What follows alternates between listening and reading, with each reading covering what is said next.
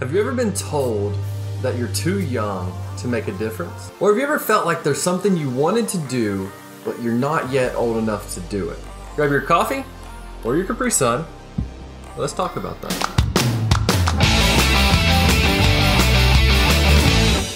So, the moment you've all been waiting for, Oxford and Webster's Dictionary has released their word of the year. I know you've anticipated it so much. And that word is youthquake. Crap is a youthquake? It's like an earthquake of youths? I don't. Youthquake. This is what they say.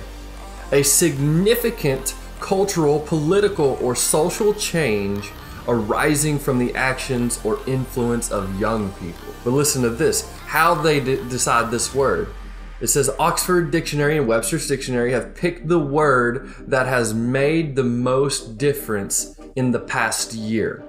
Get that? They have picked the word that has made the most difference in the last year, and that word is youthquake, meaning a significant change arising from the actions of young people. So if you've ever felt or if you've ever been told that you are not yet old enough to do this, that you are too young to make a change, too young to make a difference, those are just pipe dreams. You're too young to actually do anything about it.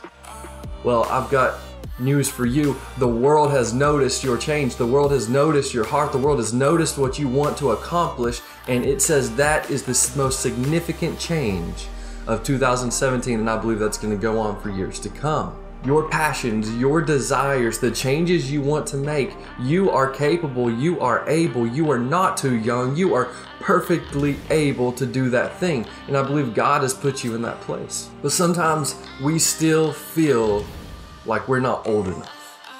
Sometimes we still feel like we are too young, or maybe we feel like we're not qualified. Maybe we just feel like we're not good enough. That we still have these emotions, even though we know when we watch videos like this that tell us, Just do it! even though we know these things, sometimes we still feel like we're not old. But you see, that's not what I see whenever I look at some of the most influential people I've ever seen. I see people who started at such a young age and made a huge difference in the world. I look at some of my idols which are the disciples of Jesus, the early followers of Jesus. And I see the huge difference that they made. And it's not until I realize that when I'm reading the gospel accounts that I'm reading pretty much the accounts of teenagers. Did you know that? That when Jesus began his ministry, he was 30 years old. And it was custom at that time that a rabbi would take on younger people. And, and most of the time, the, the disciples that they would take on would be between the ages of 13 and 15. And we can look at cultural and historical context, the times and deaths of the disciples, to know that they were roughly between the ages of 13 up to about 25. That when Jesus first came and called the disciples, the 12 men that would go on to change the world forever, he picked teenagers. Let that sink in. It was not men in their 40s and 50s.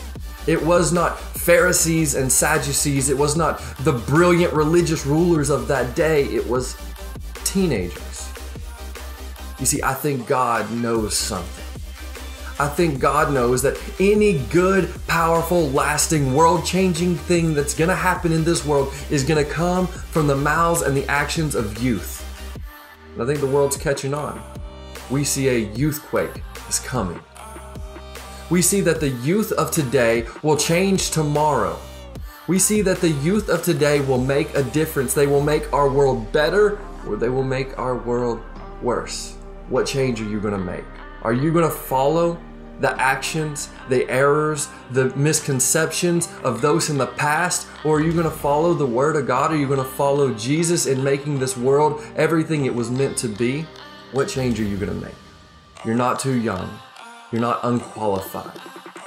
You are perfectly capable and perfectly able to change this world. You are perfectly capable and you are perfectly able to make a difference. What kind of difference will you make? Because if you want to make a godly difference, if you want to see love come forth in this world, if you want to see there to be a true difference, then I think we got to follow the words of Paul when he writes his letter to Timothy. In 2 Timothy 2:22 it says, "So flee youthful passions and pursue righteousness, faith, love, and peace, along with those who call on the Lord from a pure heart." Once again in 1 Timothy 4:12, "Don't let anyone look down on you because you are young." but set an example for the believers in speech, in conduct, in love, in faith, and in purity. Do you want to make a good change? Do you want to make a lasting change? You are at the perfect place to do it. Don't let anyone look down on you because you are young, but set an example in speech, in faith, in love, and in purity if you want to make a good, lasting change, if you want to make a youthquake that people will talk about for years to come, follow the message of the Bible. Follow the actions and the conduct of Jesus. Become a disciple. Spread his message of love, not hate. You will never look in the Bible and find the message of hate in Jesus' words. When you read the words in red, all you will read is love, and that's all we should show is love that we cannot spread the message of the gospel through hate and judgment. We can only show the message of Jesus. We can only show the words in red through love and grace. If you want to make a difference, follow the words of Jesus, show love and grace to the world, and go out and make a difference. Love one another, help one another, be there when someone needs you.